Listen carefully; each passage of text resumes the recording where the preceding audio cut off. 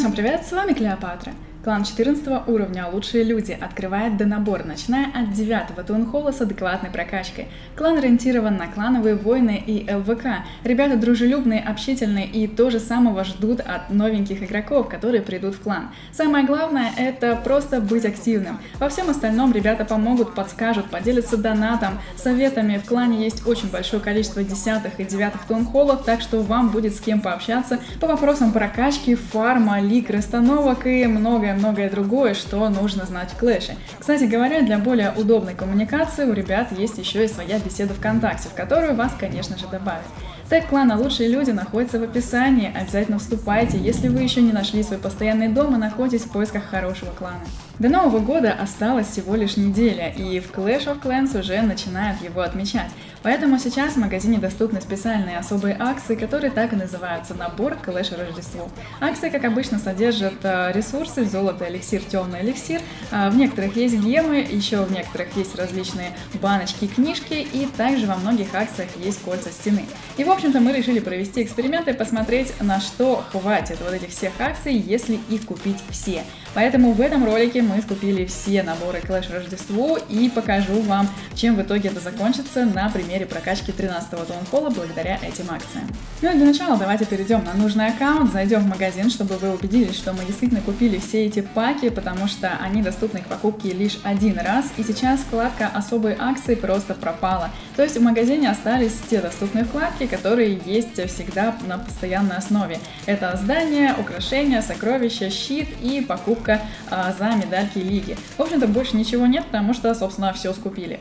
На текущий момент все строители у нас заняты, но с учетом покупки спецпаков, где суммарно нам дали больше 24 тысяч гемов, я думаю, сейчас самый как раз вот тот нужный момент, когда а, имеет смысл потратить эти гемы именно на ускорение строителей. Возможно, стоило не всех, но раз гулять, так гулять, почему бы и нет.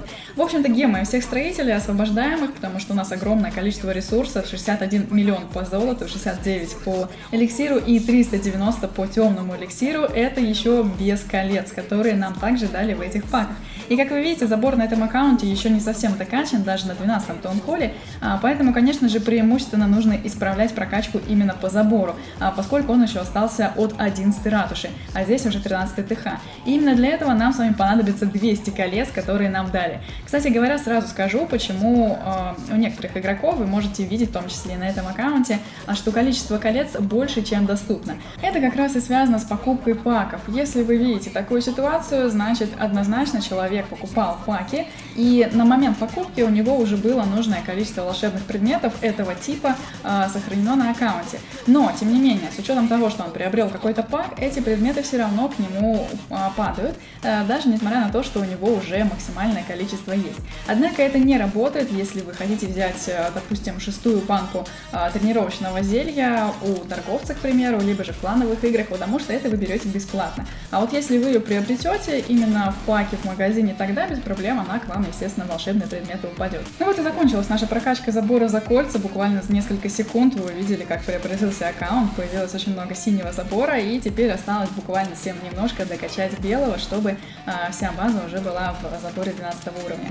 Теперь можно поставить на прокачку Инферно одно и другое до 7 уровня, и сразу, наверное, у многих постоянных зрителей возникнет вопрос, почему я так делаю, ведь всегда на стримах, в роликах говорю, что не нужно ставить однотипное строение дефа на ап. А все дело в том, что этот аккаунт находится в легенде. И как вы знаете, здесь не нападают э, в обычном понимании этого смысла из глобала, не воруют ресурсы, и поэтому в этом случае абсолютно нет разницы, в какой последовательности и в каком количестве вы будете прокачивать строение. А что же касается 13-го таунхолла вообще в целом, то здесь наоборот лучше прокачивать сначала тяжелое строение, Орел, Гига Инферно, э, те самые арбалеты, э, просто Инферно, потому что выше 13-го ТХ ничего нет. И в любом случае напротив вас может стать сильный соперник, поэтому чем сильнее вы сделаете свой деф, тем вам самим будет проще дефаться от этого соперника. И, возможно, ваша база не рухнет на 3 звезды, а, если даже он будет достаточно а, хорошо понимать, что он делает в плане самих атак. А за оставшиеся ресурсы, за золото и эликсир можно прокачать заборы. И, кстати говоря, в этот момент я заметила очень веселый баг. Смотрите, если выделять большое количество забора и ставить его на прокачку за эликсир, за ресурсы, то написано ресурс и number, вместо того, чтобы написать, а, что давайте прокачаем ваш забор за эликсир в таком-то количестве. То есть, в общем-то, я так поняла, что у разработчиков здесь небольшой баг а, визуальный. Они прописали цифры только до максимальной емкости на трастом ТХ, то есть до 18 миллионов. А если вы выделяете забор на большую сумму, то у вас возникает вот такой вот баг. Прокачать выбранные стены за ресурс number. Но самое главное, что этот баг не влияет на саму игру, то есть он чисто визуальный, но тем не менее он такой есть. Похоже, разрабы просто не думали, что кто-то будет покупать э, паки в таком количестве, ну хотя, в принципе, они должны были это предусмотреть, раз они сами придумали эти паки.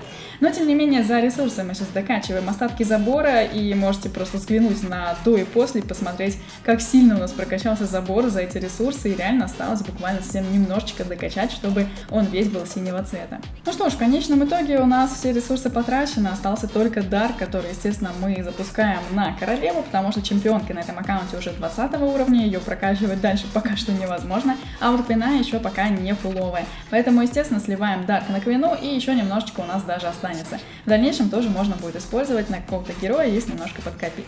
Ну и, конечно, по традиции используем зелье строителя, которое помогает ускорить прокачку а, всего, что сейчас есть на базе, поскольку все пять строителей заняты, и а, это поможет экономить нам время. Ну что ж, ставьте лайк, если ролик вам понравился. Не забывайте подписываться на канал, прожимать колокольчик и, конечно же, удачи. Пока-пока.